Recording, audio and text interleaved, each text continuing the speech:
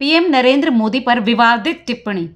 मौलवी के मंत्रियों पर भड़के सुरेश रैना और इरफान पठान। प्रधानमंत्री नरेंद्र मोदी और उन पर मालदीव्स के मंत्रियों द्वारा की गई विवादित टिप्पणी इन दिनों काफ़ी सुर्खियों में है। बॉलीवुड समेत खेल जगत के भी कई दिग्गजों ने मालदीव के मंत्रियों और विवादित कमेंट करने वाले लोगों पर गुस्सा ज़ाहिर किया है। इसी कड़ी में पूर्व भारतीय क्रिकेटर सुरेश रैना और इरफान पठान का नाम भी जुड़ गया है। रैना ने सोशल मीडिया प्लेटफॉर्म एक्स पर एक पोस्ट शेयर कर कहा, मालदीव की प्रमुख हस्तियों ने जो टिप्पणी की है, उसे मैंने भी देखा है। इसमें भारतीयों के प्रति नफरत और नस्लवादी टिप्पणी की गई है। ये देखना बेहद निराशाजनक रहा है।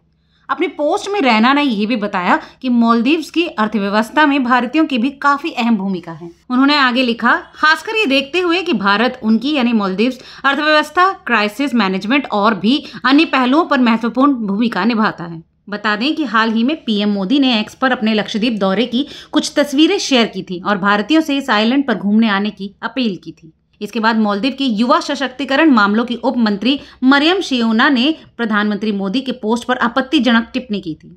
मालदीव के नेता ने पीएम मोदी को कठपुतली भी कहा। हालाँकि भारतीय इंटरनेट यूज़र्स द्वारा आलोचना करने के बाद शिवना ने अपनी पोस्ट डिलीट कर दी थी। आपको बता दें कि शिवना के अलावा एक अन्य मंत्री जाहिद रमीज सहित मालदीव्स के अन्य अधिकारियों ने भी पीएम मोदी की लक्षद्वीप यात्रा की तस्वीरों का सोशल मीडिया पर मज़ाक उड़ाया था और कई लोगों ने इसकी तुलना मालदीव से की थी।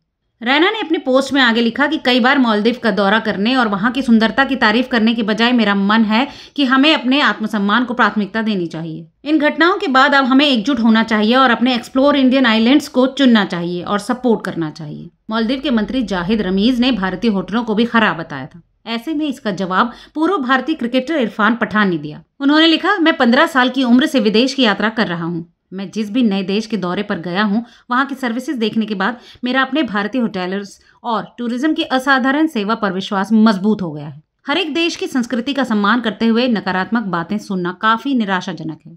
तो इस बारे में आपकी क्या राय है? हमें कमेंट करके ज़रूर बताएँ। फ़िलहाल इस रिपोर्ट में केवल इतना ही। ऐसी तमाम और खबरों के लिए देखते रहिए रिपोर्टर जी।